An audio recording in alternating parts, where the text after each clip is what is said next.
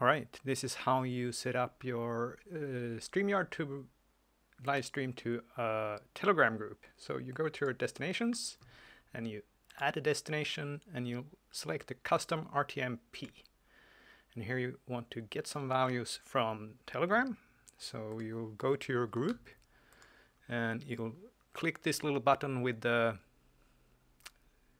lines and you go with stream width and then you get the copy uh, the server URL you just press here to copy it.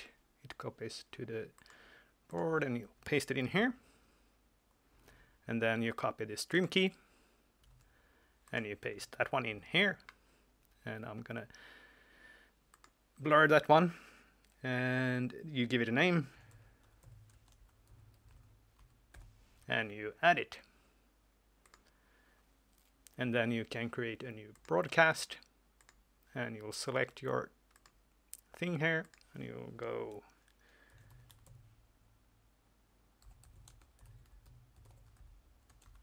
testing telegram stream and you create that broadcast.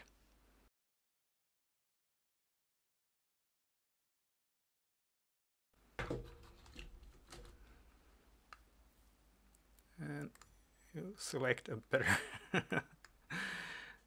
better one. All right and head into the studio enter studio. And you can add yourself to it here perhaps and you see you have it up here. And then the trick is to go live here. So I'll press go live. And then you'll have to go to your here and press start streaming. And it says we can't see any stream coming. It'll take up to almost 10 seconds I think before it gets actually from StreamYard into the telegram group. But hopefully we can see it pop up here in a second or two. That it'll actually stream over there and just checking back here. Yes, I'm still live here.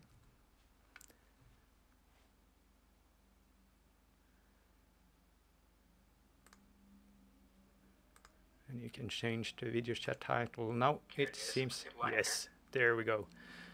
So this is a little bit of a trouble with the big delay, uh, but otherwise it seems to work just fine. You can change the video chat title. Now it seems, yes, there we go. You go to end broadcast so here. This is a little bit of trouble with the big delay. Very uh, good. Otherwise, it seems to work just fine. And, and then you'll go back here and end the video chat. That's very important. And then you can leave it.